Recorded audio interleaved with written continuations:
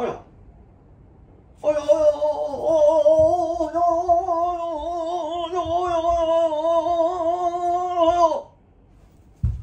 ホールインワン京丹動画ということで10万人いったじゃない登録者でなんか銀の盾が来なくて困ったないつ来るのかなって思ってたらこの間ねツイッターでね YouTube Japan 公式がね僕のね動画をねつぶやいてくれてたんですよ。それなーっつって。で嬉しかったからで引用したら「お宝あるこれからも楽しみにしてます」って YouTube Japan 公式がツイートしてくれたの。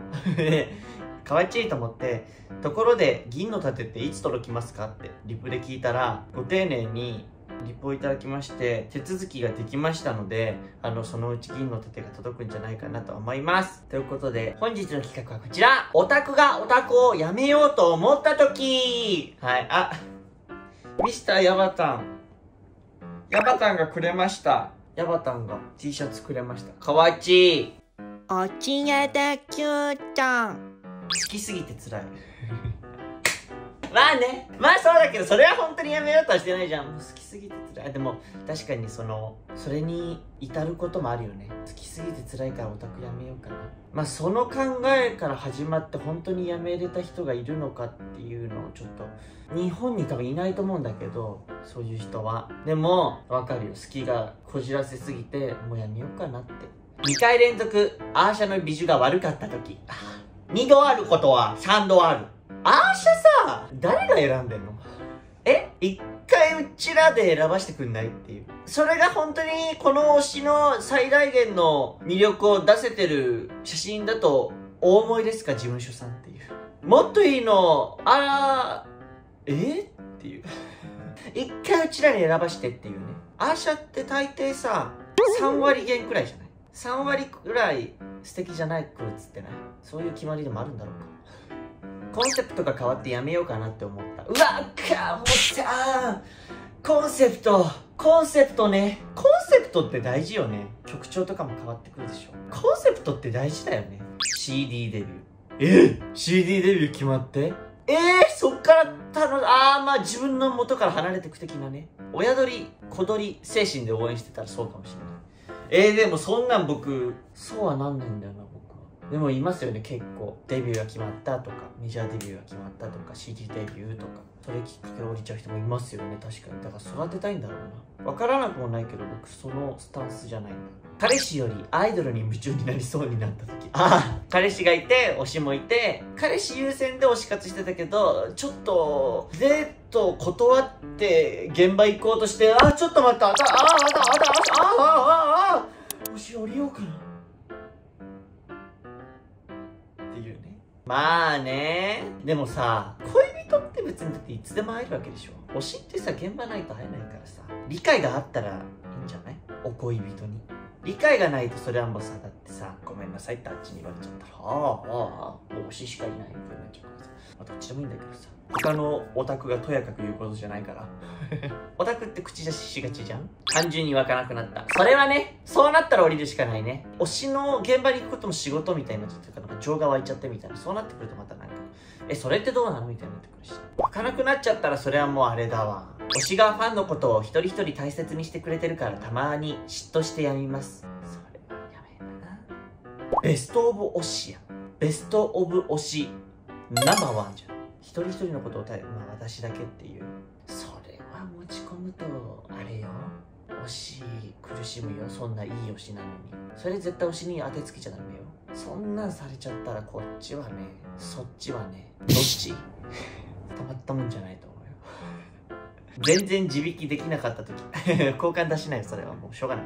自引きできない時本当にできないから。そろそろそういうことなのか降りた方がいいってことなのかなみたいな。もうそういうことは言われてるのかな。違う違う違う違う違う違う。ただもう本当にもうただ自引きできなかったってだけなんで交換出してもうすぐに推しの。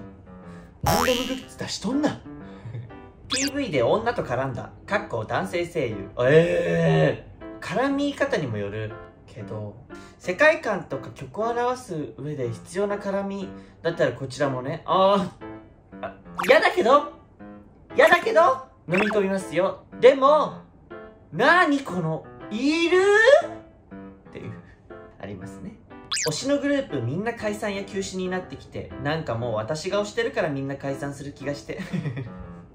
私が推してるから解散になって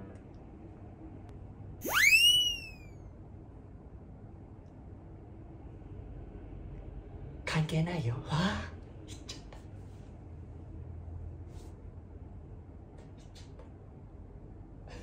た。そうかもね。普通にキモかった。推しが？推しキモかった？ってこと？推しがキモかった？何？現場自体が？何がキモかった？運営が？推しが？多分推しが？それを支援すりゃいい。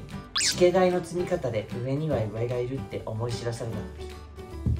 これあれでしょ？めっちゃ積みたいっていう積みたいっていうスタンスの人がいてそういう積むって意味でめちゃめちゃ積むオタクでいたいって思ってたのに現場行って積んでたら現実を知って上には上がいて私はなりたいオタクにはなれないんだ。オタクやめようかなっていうね。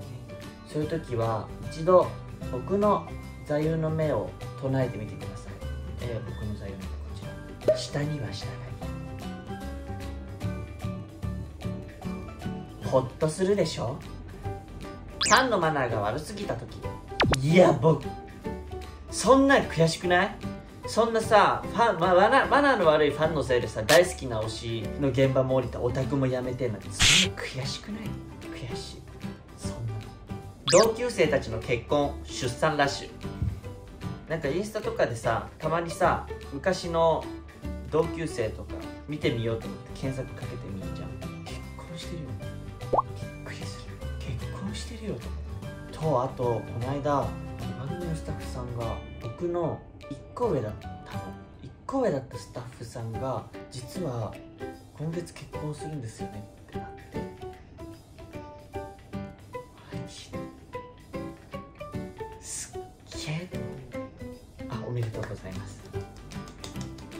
だってさ家に帰ったらさここにさここにいるわけでしょ？帰ってきてこうやって帰ってきたらここにいるんでしょ？ただいま。ずっといるそこって。じゃあ僕。絶対僕無理なんだけど。ずっと家にいるでしょ。まだいるそこ。そろそろ帰る場とかないんでしょ。やばくない？だ僕大人になったらそういうのも大丈夫になっていくんだろうなって思ってたんですよ。好きな人との時間とかも。受け入れられてなんなら一緒にいたいって思うようになってって結婚に至るんだろうして幸せになっていくんだろうなって思ってたんだけど僕想像しただけで。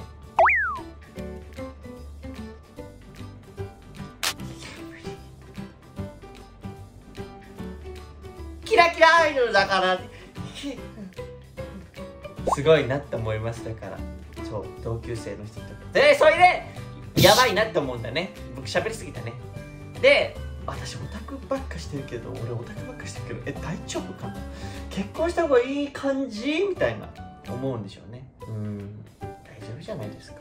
その別にオタクしてるから結婚できないとか僕正直ないと思うんですよ。別に現れる時現れると思うしそこでオタクをやめようって思うというよりは勝手にそっちの気持ちが薄れてってそちらに行くか推しへの気持ちもありつつお付き合いして結婚して好きな人とのえともその思いもありつつ教えの気持ちもありつつのパターンとかいろいろあると思うんですけど降りようって思ってなくても勝手に薄れていくもんだと思うんですよ。降りようって思って降りれることってなかなかなくいなあある。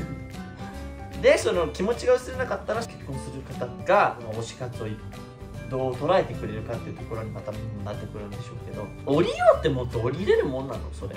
それってあれでしょ？もうだから好きな人好きでいるのやめようと一緒でしょ？無理やんそんな。僕もねだからその中学生くらいの時とかは高校生くらいになったらアイドルオタクじゃなくなるんだろうななんて思ってたね高校生になるとオタクのまんま。で大学生になったらオタクじゃなくなるんだろうなオタクのまんまないで大人になったら湧いたりしないんだ湧くんよコンサート行って推し出てくると「うー!」ってなるななるなるからオタクはオタクになったら一生オタクなんじゃないオタクはオタクになったら一生オタクオタクの精神は抜けないんじゃないのオタクから足洗った人いるのかな足洗ってないオタクから足って洗えんのオタクが足洗うことってできんのかな？あやっぱ多いね。周りが結婚していった時。まあそうか。まあその来るよね。20代ってそういう時は。はい。ということでいろいろ見てきましたがやっぱり一番オタクをやめようと思った時で多かったのは、えー、と周りの結婚同級生の結婚でした。強く生きような